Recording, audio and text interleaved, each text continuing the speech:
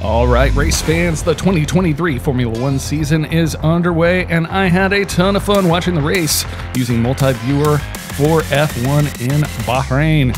So much fun. In fact, I went ahead and pulled the trigger and got the big chungus. That's right, the Stream Deck XL. Also changed a lot of the way my integration with Stream Deck and Multiviewer for F1 works. Of course, we have all the same control features as before, being able to pause and unpause and sync all the driver feeds, the map, the data channeled with the broadcast commentary.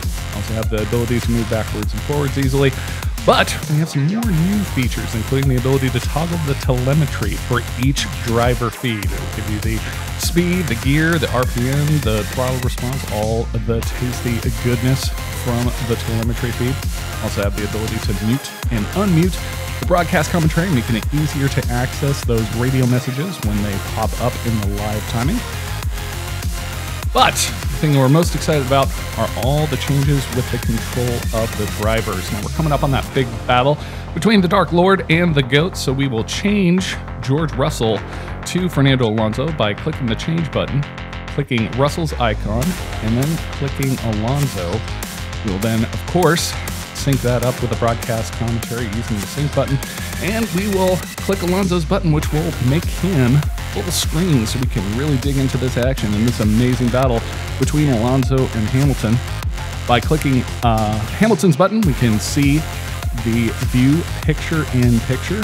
And as we are coming up to the end of this Titanic battle, we can use the cycle button, the recycle button, to switch in between the smaller picture in picture view and the full screen of each driver, giving us all the detail of the action after that killer turn 10 overtake by Fernando Alonso.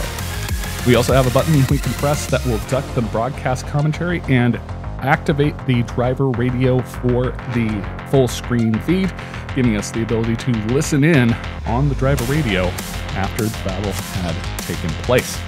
All of it super, super fun.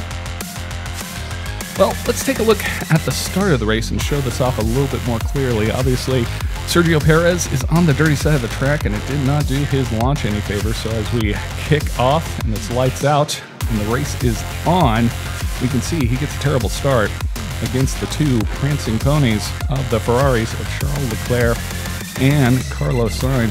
Definitely getting hairy going into turn one, so we can use that recycle button again to cycle through the different views to get a good look at each of the three drivers in this critical moment in the race. And as you can see, with one click of a button, we can get every possible angle of the action as Charles Leclerc does stick that overtake over Perez into turn one. So that's the rig. Ton of stuff that's brand new. I am enjoying hacking on this API. I would like to send a big shout out to the folks over at Multiviewer for F1 for creating the best way to watch Formula One online. You can find it at multiviewer.app. That's multiviewer.app for the best way to watch Formula One online.